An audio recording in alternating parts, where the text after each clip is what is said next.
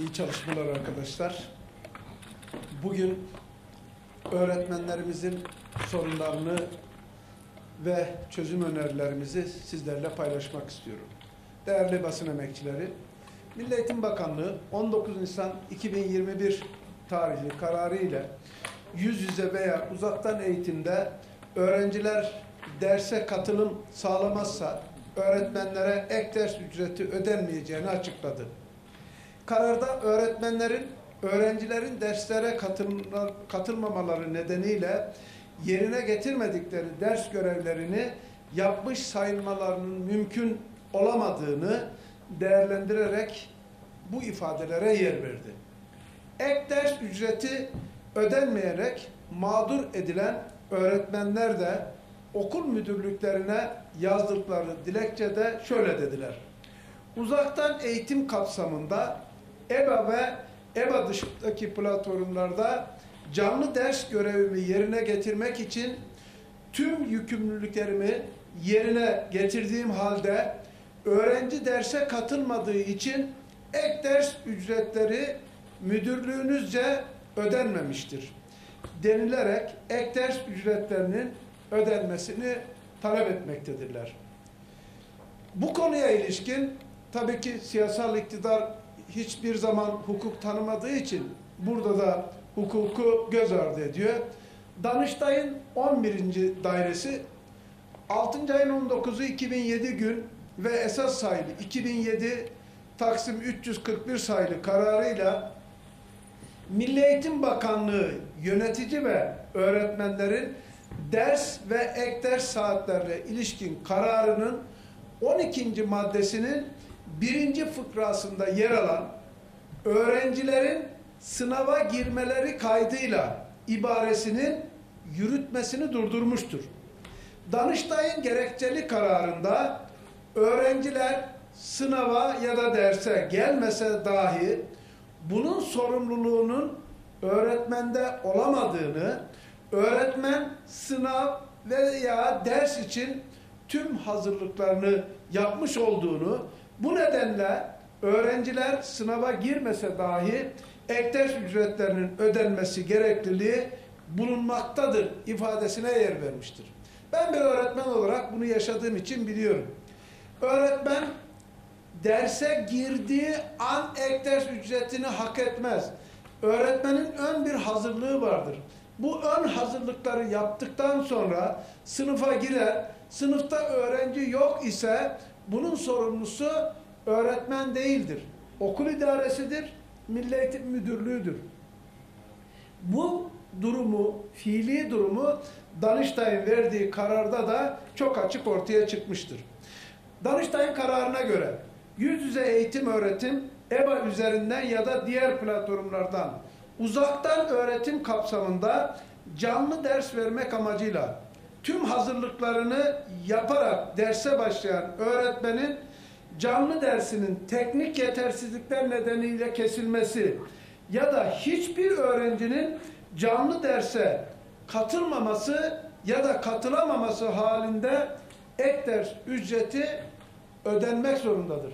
Bakın öğretmen bilgisayarını almış, internet bağlantısını yapmış, internet aylık ödentisini yapmış, bilgisayarı olmayan parasından para vermiş, tüm öğren kendi hayatını ona göre dizayn etmiş, e, bilgisayarın karşısına geçmiş. Kimi öğrencilerin evinde bilgisayarı yok. Kimi öğrencilerin evinde interneti yok. Kimi öğrencilerin interneti düzgün çekmiyor. Sisteme giremediği için öğretmen bilgisayarın başında oturuyor. Başka hiçbir işle uğraşmıyor. Diyelim ki 40 dakikalık ders saati var. İlk 10 dakikasında hiçbir öğrenci giremedi. 15. dakikada 10 tane öğrenci girdi. Öğretmen 40 dakikanın sonuna kadar o bilgisayarın başında oturmak zorunda. Dolayısıyla öğretmen ek ders ücreti almayı hak etmiştir. Eğitim sendikaları da bu konuda sorumluluğun tam olarak yerine getiren öğretmenin öğrencinin derse katılmamasından ya da katılamamasından sorumlu tutulamayacağını ayrıca devam mecburiyetinin Milli Eğitim Bakanlığı tarafından kaldırıldığını olağanüstü koşullarda öğrencilerin devamından bakanlığın sorumlu olduğunu hatırlatarak kararın yok hükmünde olduğunun altını çizmektedirler. Eğitim İş Sendikası da, Eğitim Sen Sendikası da, her iki sendika da bu konuda fiili bir çalışma yürütmüştür. Bakanlığa yazı yazmıştır. Bakanlık öğrencinin devam zorunluluğu olmadığının altını çizmiştir. Öğrenci devam zorunluluğu yoksa yani derse girmeyebilirsin, yüz yüze sınava girmeyebilirsin diyor. Ama öğretmen okula geleceksin, derse gireceksin, sınav hazırlıklarını yapacaksın diyor. Daha sonra da diyor ki öğrenci gelmedi, gelmediği için senin ders ücretini vermiyorum. Bu nasıl bir akıl? Bu nasıl bir yönetim anlayışı? Böyle bir eğitim anlayışı olamaz. Asla bunu doğru bulmuyoruz. Milli Eğitim Bakanlığı'nın aldığı karar pandemi koşullarında görevini eksiksiz yerine getiren, özveriyle çalışan öğretmenlerimizi cezalandırma yönteminden başka bir yöntem değildir. Milli Eğitim Bakanlığı asıl yapılması gerekeni yapmıyor, gücü öğretmenlere yetiyor. Şöyle bir bakalım. Bu pandemi sürecinde Milli Eğitim Bakanlığı ne yapmalıydı? Öğretmenleri aşıladınız mı? Hayır. Peki derslik sorununu çözdünüz mü? Hayır. Okullarda yüz yüze eğitim, öğretim ve sınav yapılabilmesi için gerekli sağlık koşullarını sağladınız mı? Kocaman hayır. Öğretmen açığını kapattınız mı? Ona da hayır. Sözleşmeli, ücretli öğretmen ayrımını kaldırdınız mı? Tabii ki hayır. Öğretmenlere, öğretmenlerin ikramiye talebini, 24 Kasım Öğretmenler Günü'ndeki ikramiye talebini karşıladınız mı? Tabii ki hayır. Öğretmenlere 3600 ek gösterge sözünüz vardı. Bu sözünüzü yerine getirdiniz mi? Tabii ki hayır. Öğretmenler meslek kanunu çıkartacağız dediniz. Sayın Ziya Selçuk, bu çağrıyı, bu açıklamayı siz yaptınız. Cumhuriyet Halk Partisi grubu olarak 22 Kasım 2018 yılında parlamentoya verdiğimiz kanun teklifi bekliyor. Bunu görüşmeye indirdiniz mi? Tabii ki hayır. Ama ne yaptınız? Öğretmenlerin hakkı olan ek ders ücretini kestiniz. Yazık. Gerçekten yazık. Pandemi koşullarında her işte çalıştırdığınız, vefa destek grubunda çalıştırdınız, filyasyon ekibinde çalıştırdınız, terminallere gönderdiniz, öğretmenleri çalıştırdınız, cami kapılarında öğretmenlere maske dağıttırdınız ama bu ek ders ücretini kesmeyi reva. Yazık, yazık. Gerçekten yazıklar olsun. Öğretmenlerin ek ders ücretlerinin yasalara aykırı bir şekilde kesilmesinin araştırılması için ve ek ders ücretlerinin verilmesi için anayasanın 98. maddesi Türkiye Büyük Millet Meclisi İş Tüzüğü'nün 104 ve 105. maddeleri gereğince mecliste bir araştırma komisyonu kurulması için Türkiye Büyük Millet Meclisi Başkanlığı'na bir araştırma önergesi verdik Cumhuriyet Halk Partisi grubu olarak. Şimdi her koşulda bu işin takipçisi olmaya devam edeceğiz. Değerli basın emekçileri, aylardır tam kapanma için çağrı yapıyoruz. Nihayet 29 Nisan 17 Mayıs tarihleri arasında tam kapanma kararı çıktı. Tam kapanmayı parantez içerisine, tırnak içerisine alıyorum. Çünkü tam anlamıyla bir kapanma çıkmadı.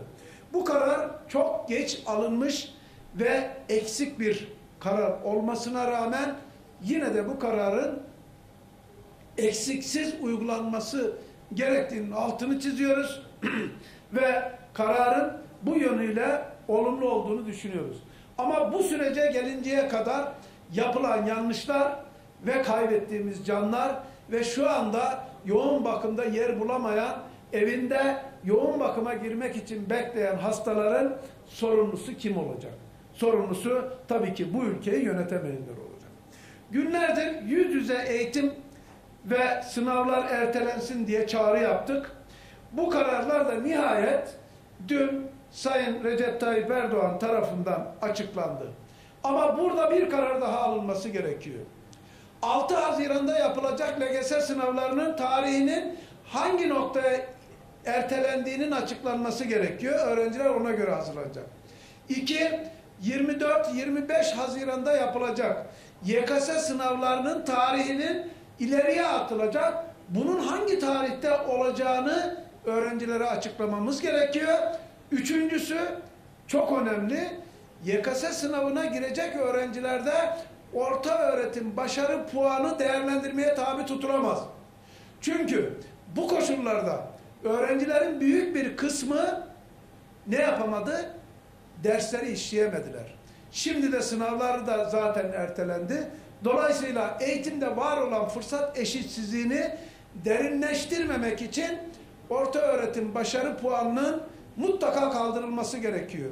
Buradan Yüksek Öğrenim Kurulu'na, YÖK Başkanı'na çağrı yapıyorum. Lütfen Sayın Recep Tayyip Erdoğan'ı bu konuda doğru bilgilendirin. Kendisi de biliyordur. Sanki e, bilgilendirme yapılmadığı için yanlış yapılıyor gibi bir imaj oluşmasın. Bu süreci yönetemiyorlar. Yönetemedikleri için YÖK Başkanı bu konuda inisiyatif almalı, anlatmalı ve orta öğretim başarı puanı mutlaka devre dışına bırakılmalıdır. Evet değerli basın emekçileri, kapanma sürecinde kimsenin aç ve açıkta kalmaması gerekiyor. Bu süreçte iş yerleri kapanan, hiçbir geliri olmayan, gündelik işlerde çalışan vatandaşlarımızın da mağdur edilmemesi gerekiyor. Simit satanların, boyacılık yapanların, ayakkabı boyayanların, demir işlerinde çalışanların, gündelik her gelen meydanında, amele durağında bekleyen, kazmayla, kürekle evine bir dilim ekmek götürmek için çaba sarf eden, kazmayla, kürekle çaba sarf eden emekçilerin mutlaka ve mutlaka evine ekmek götürebilecek bir desteğe ihtiyacı var. İnsanları aç ve açıkta asla bırakamazsınız. Buradan Cumhurbaşkanı ve Adalet ve Kalkınma Partisi Genel Başkanı Sayın Erdoğan'a bir çağrı yapmak istiyorum. Önümüz bayram. Emeklilere verilecek ikramiye miktarı kadar biraz önce saydığım kesimlerin tamamına bayram yardımı mutlaka yapılmalıdır. Bu sosyal devlet olmanın gereğidir. Eğer gerçekten bu insanların bayramda çocuklarının yüzüne bakmasını istiyorsanız boyacıya, simitçiye, ameleye, çapacıya ve işi gündelik işine gidemeyen, kepengini açamayan esnafa emekliye vereceğimiz bayram ikramiyesi kadar bir yardımı mutlaka bayramdan önce yapmalısınız. Bu bir insanlık görevidir. Bu sosyal devletin yapması gereken bir iştir. Bu yardımlar yapılmaz ise milletimiz ne yiyecek? Taş mı yiyecek?